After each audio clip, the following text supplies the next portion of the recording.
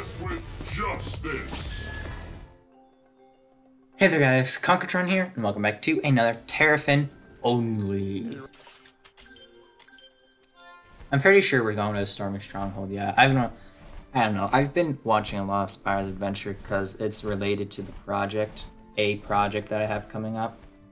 I don't know how well it'll do. Hopefully it'll do well, but it'll still be like another month or two because it's all editing. And editing for me takes a long time just because, uh, I don't know. I think just because I run out of time and I don't have very much of an attention span. Which is why I like playing Skylanders. Anyways, this should be very easy. I just had to double check to make sure this was the right save file. Oh yeah. Oh wait, we need the key.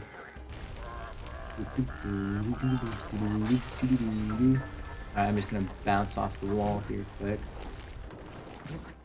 Ow, ow, ow. Uh, I think that, yeah, that made it. Boom! There, get some extra speed in right there. Can I be hit by the spikes while I'm, oh.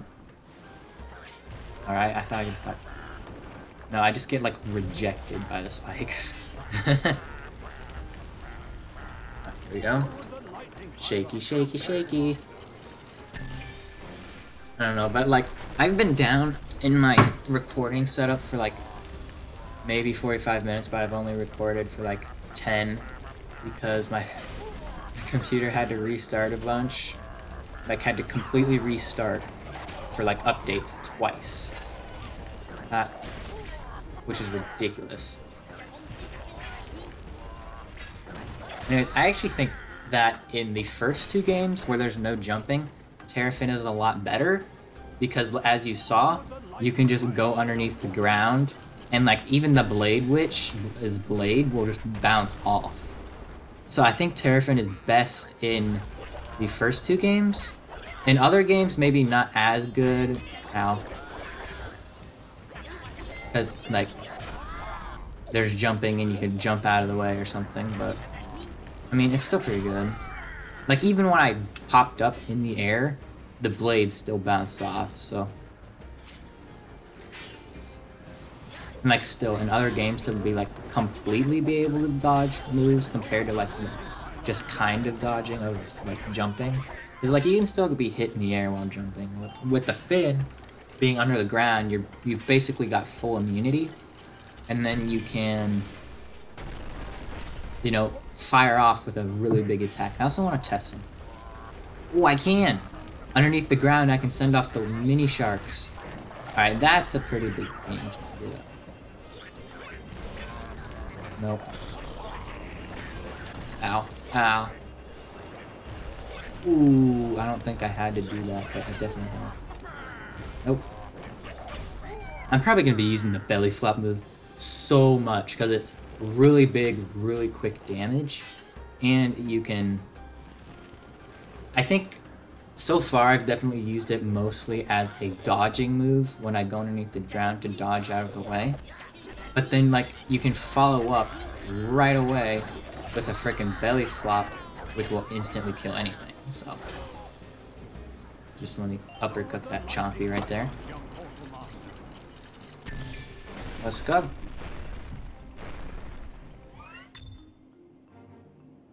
Alright. This will be a pretty quick level. It's not... Maybe six minutes total? I don't know. Depends. Oh, jeez. Because it's four minutes in right now.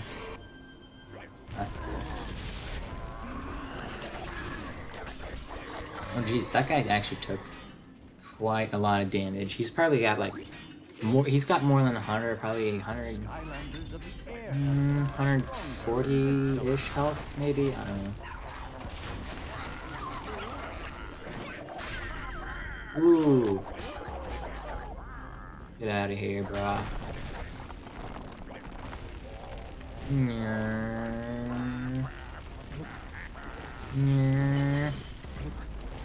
And like the Jaws music, that's what I should be playing. Dun dun dun dun dun dun dun dun dun dun dun dun dun dun dun I'm probably gonna get copyright for that one right there. Bye. You can't catch me.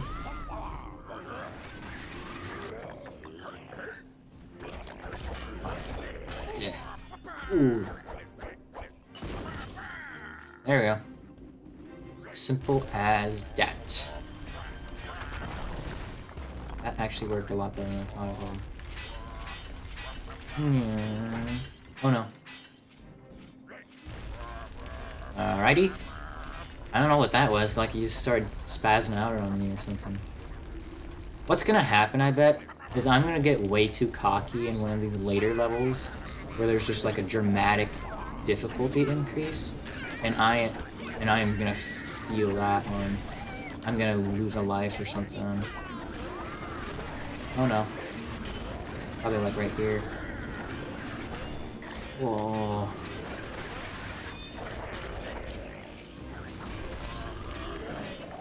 Over here, dummy. That's not actually what I was trying to do, but I mean it works. Ow.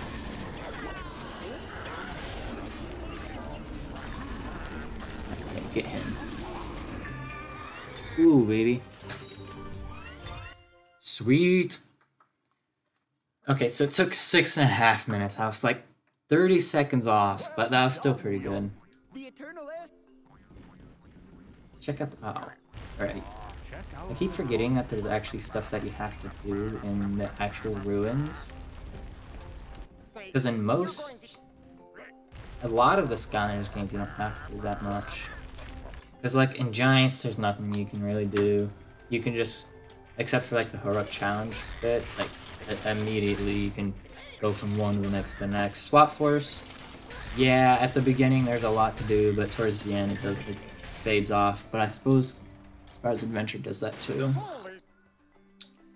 Trap Team, you can basically do the same thing. Like you've got to go to Persephone at the beginning, and then and then Mags will show something, like some building being put in, or like the expansion packs, which you don't actually have to go to. So I, I suppose Trap Team doesn't have anything. Superchargers doesn't have anything like at all. I mean, at the beginning, it definitely shows you around and makes you talk to people, but like that's not really doing anything except for sitting there for one punch, really. Sitting there and doing nothing, so whatever. And then Imagineers, you definitely have to do stuff like stuff in the academy, specifically the library, like free Flynn and get the little ju- Jack hmm. in the Box thingy.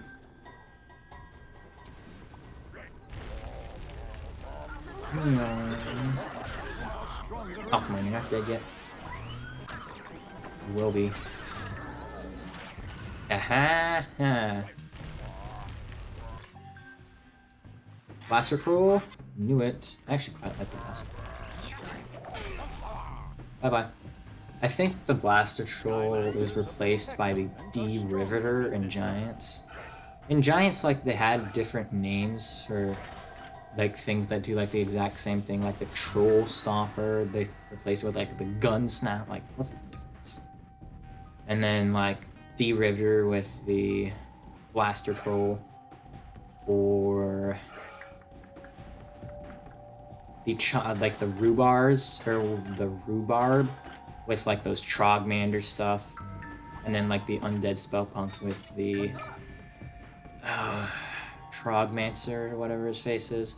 Grenade general i think this guy's actually called grenade troll but then they changed it to grenade general which i do admit sounds better. I would rather call him grenade although they do do a lot less damage in this game than in giants they're still annoying, but not as annoying because they don't do as much damage. Can I? No, no. Ah, that's. Zoom, zoom, zoom, zoom, zoom, zoom, zoom. Surprise. Yeah. Oh no, I'm stuck. I will admit, I've definitely grown a bit of affection towards Terrafin just in like his first, few episodes.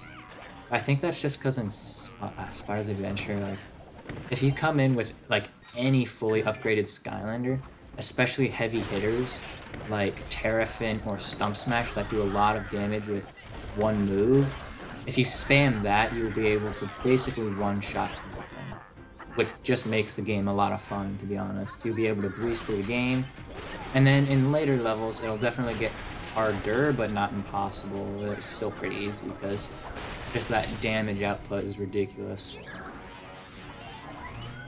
So I've got no problems. Before, I wasn't a huge Terrafin fan. Like, I didn't have any problems with him, but he definitely wasn't, like, top 10 Earth material, I guess.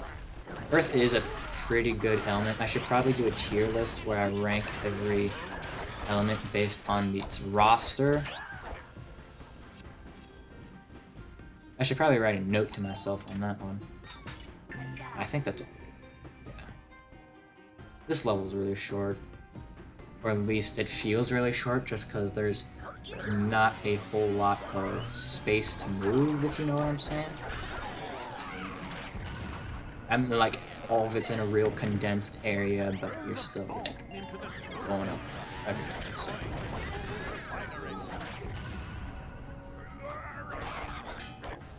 Did I do it? Did I miss? Really? Really, game? You couldn't have done that? You couldn't have gave me that? Whatever, bro. Alright. Um, hopefully this will make it. I think it should. Yeah, buddy. Yeah, buddy. Let's do another one. We still got plenty of time, I think. Uh, I actually think it's Dark Water Cove, which I think is definitely one of the... Oh which I definitely think is one of the longer... It said grab the oil can, but what do I do with it? Oh, the Farseer, right. Grab the oil can. Yeah, I grabbed it. What do I do with it? Jeez, you'd think they'd be a bit more specific. I thought it was talking about the Clamtron down there, which didn't make any sense because Clamtron doesn't come until I actually think it might be after the whole water thing. It goes to the earth. I don't know. Regardless, Dark Water Cove. Dark Water Cove, like I said, Dark Water Cove is definitely one of the longer levels. Just, I'm not sure if it's actually any longer, but it definitely feels longer because of the distance traveled. There's a lot of distance to go. And this is like my favorite level in Spyro's Adventure. I really enjoy this level. Like, it's not a hard level. Ooh, Earth. I think this might actually be the first Earth zone that we actually get to take advantage of here. Yeah, get that.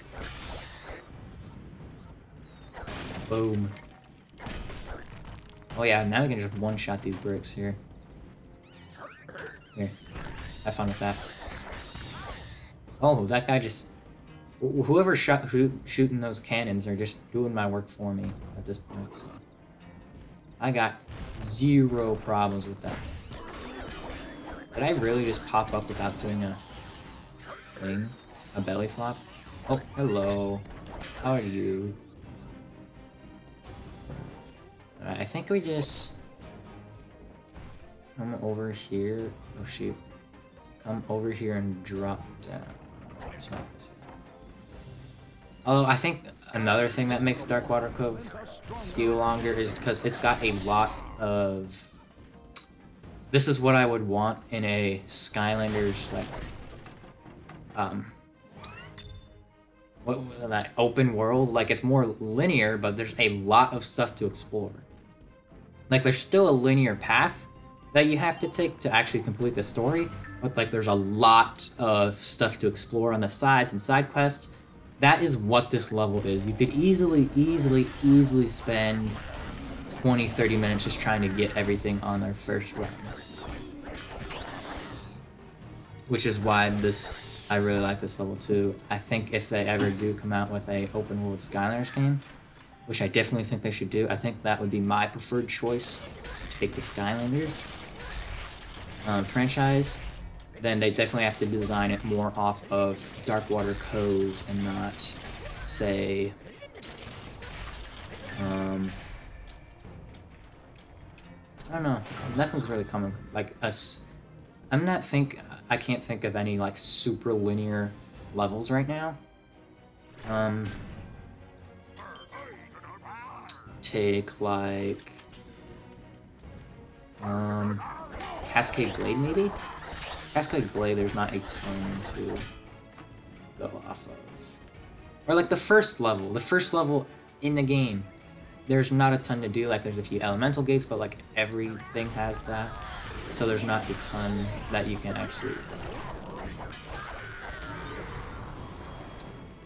Sick. Alright. Honk. me through. Hey, there's Igniter Soul Soul Gem. I actually really, really enjoy Igniter. Ooh, get out of here. Ooh, that was some big damage. Where do we go? I always get lost here because this is another like like uh oh no no another reason why it's such an expansive level because like there's a teleporter right there that usually I would think that's where you'd go but know I usually end up do going that way but it doesn't actually lead anywhere. And I think you head this way, yeah.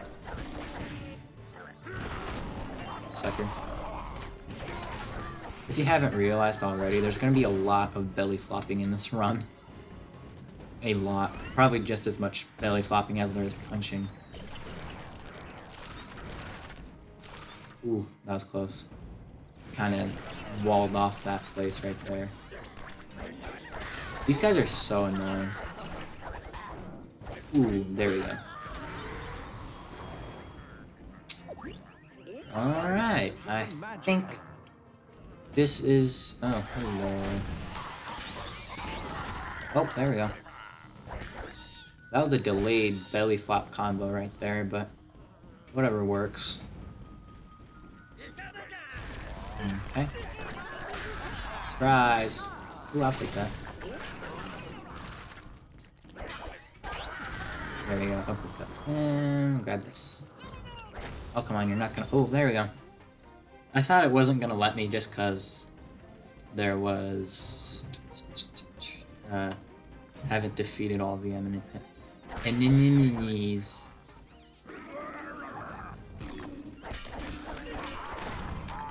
Ow. Is this a ship we're supposed to take, or do we have to open the gates first? Two things. One, the pirates say the switch is way up Okay, another two things. Why can't you skip this, and why are you talking to pirates? Hmm? How's that? Elven ship? I don't know, but whenever I hear elves or dwarves or something like that, I, I immediately think Lord of the Rings. Because I don't know, if, but for some reason I've been obs quite obsessed with Lord of the Rings. Are you supposed to be up here? Lately? Especially with the new game that came out, the new mobile game. It's a lot of fun. I've been playing it quite a bit in my free time. Well, I wouldn't exactly call it free time, but definitely down, like on the bus or something. Just when there's nothing else to do. Because I've got plenty to do. Like, I've got videos to edit, videos to record, videos to script because I'm actually uh, going to start scripting a few of my bigger projects. Like, I'm not going to start scripting the discussion videos. Those are like four minute things that I do real snap and quickie. But, like, I've got another uh, different thing that I want to do at some point. I should probably start typing that up.